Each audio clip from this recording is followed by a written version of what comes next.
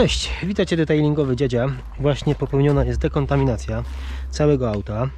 Między innymi też powłoki 1.61 od Neoxal. Y, Patrząc na panel, czy jest jeszcze przyciemnienie? Jak wiadomo, to była 111. Jeszcze widzę przyciemnienie, nawet widzę, gdzie tu jest krecha, więc powłoka spokojnie siedzi, ma swoje e, właściwości zabezpieczające i zdecydowanie, czy jest większy połysk niż tu? Odrobinkę może jest inaczej, tak bardziej mokro po odetkaniu. E, Zobacz, jakie jest hydro. Tak jak widać, tutaj już powolutku jakby troszeczkę ją podgryzało, ale co jest fajne, tu na dole jest igła. Tutaj kurczę, nie wiem, tu chyba było jakieś przetarcie z tego co kojarzę. Tak, tu było jakieś przetarcie czymś zahaczone szerokim takim kurczę i są takie, zobacz. Widzisz? O, widać. O, w tym miejscu. O, właśnie tu. No, tutaj było czymś przetarte, nie pamiętam czym. Ale co mnie interesuje? Tu. Tutaj najwięcej dostaję w kitę.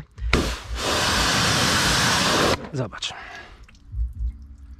Cały czas jest zabezpieczenie. I teraz tak, jeżeli chodzi o samą powłokę, samo oczyszczanie, rewelacja. Naprawdę. E, Bardzo fajne.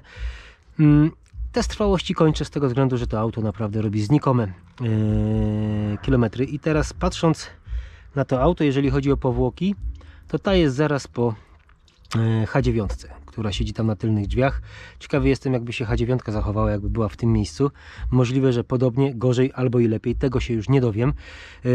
Jakoś ilość przejechanych kilometrów i mm, czas zabezpieczenia wyświetli Ci się. Wyświetli Ci się, a na końcu zapewne wrzucę yy, test trwałości, jak wyglądała e, hydrofobowość od początku do końca. Za chwilę wskakuję tu z 1.61 z e, reloadem. Chcę położyć na tym całym panelu i reloada też nie będę badał testu trwałości z tego względu, że tu wleci produkt, który yy, szampon i osuszacz, które się uzupełniają i mają dawać fajne zabezpieczenie i połysk. No dobra, powłoka naprawdę bardzo fajna, pomimo to, że na mokro trochę upierdliwa, ale no, no moim zdaniem w tych czasach już powinno się odchodzić od tych właśnie na mokro. Także Grzegorz pomyśl o tym, 111 wiadomo w Audi siedzi jak wściekła yy, test, yy, test trwałości. Yy, serwis był powłoki, w dalszym ciągu ma się dobrze. No dobra, z mojej strony to wszystko. Dzięki za obejrzenie, do zobaczenia, do usłyszenia. Cześć!